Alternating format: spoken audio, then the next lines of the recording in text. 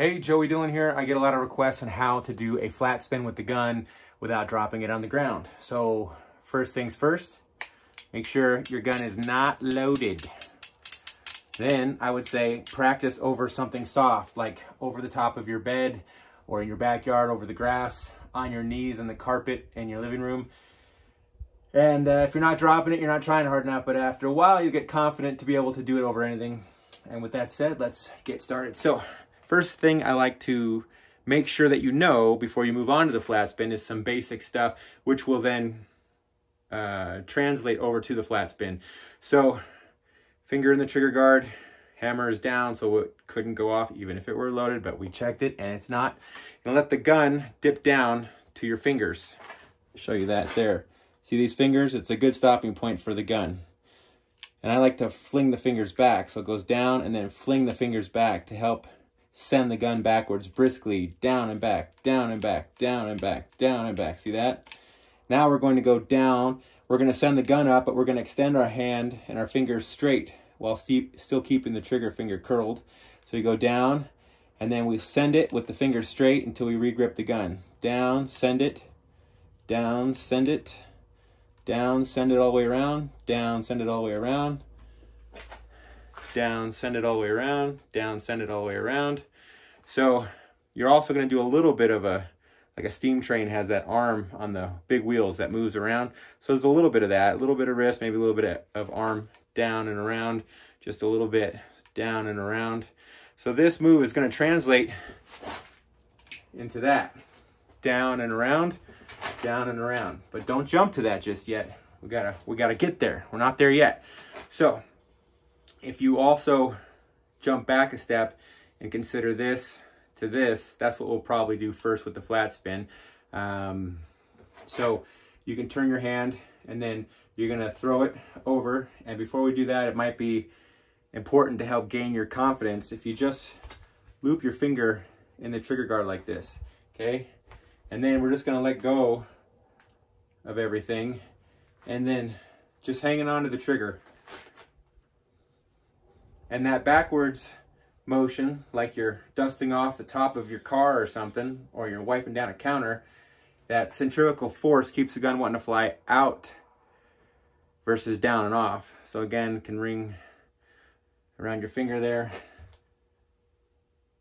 See that? So then we're going to add the little concentric locomotive circles later. First, we're going to just do this, get our confidence going. And then we're gonna throw it over, we're gonna do that stop. Like I did this before, this is the move we're gonna do for the flat spin. Now when you throw it over here, your fingers can even get under it a little bit. You see that?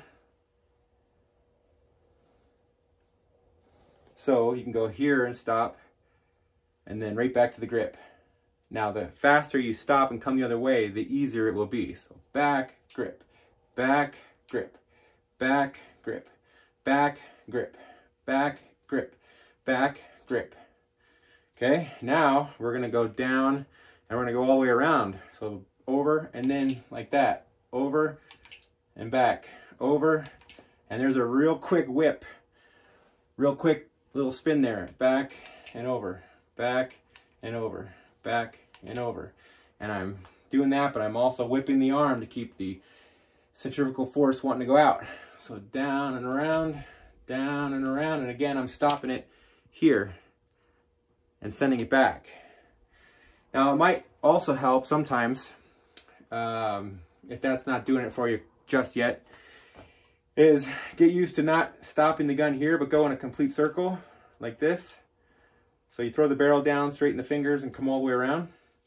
And then what we're going to do is we're going to throw it over, but we're going to catch it like straight up and down. So we're going to start horizontal, we're going to flip to vertical. So go around like this around like that over and then we catch it here which seems sometimes to be easier uh, to help start learning this with some confidence that you're not going to drop the gun. I like stopping a lot of times with my thumb here because you could also stop and do that if you wanted which is kind of nice. You don't have to. You could get to there but trying to avoid this with your thumb to get to the grip makes it a little bit tougher in my opinion plus this always leaves you ready for a trick shot.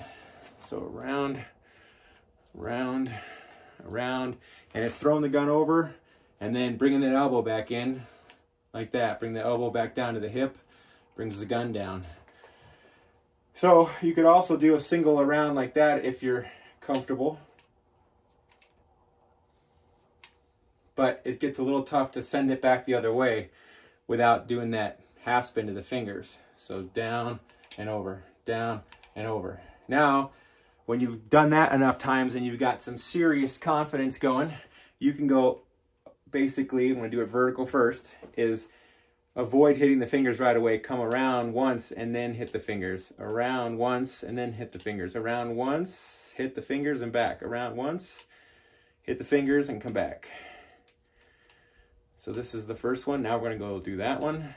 Remember, this is the first one, down and back.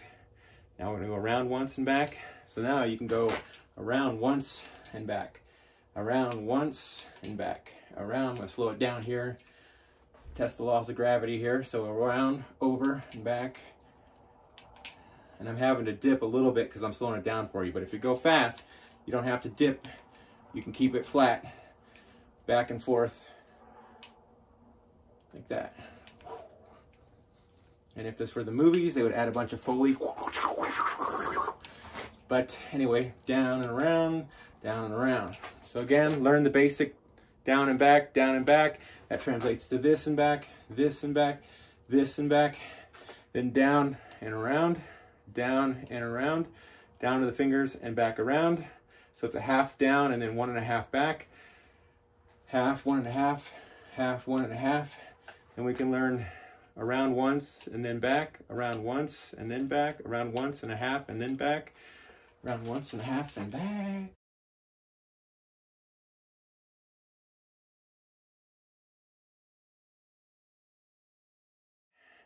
Or again, jumping over to the other move, you can practice that, which is still a really great move. If you don't do a full flat spin, that still looks really good. I think uh, I think Michael Biehn did that in Tombstone with one of his tricks there, flinging it around like so. And uh, you could even add on to that one, go around and then down and around. So you're going over to here, but then you're letting it dip down into the one and a half like so. So round or boom.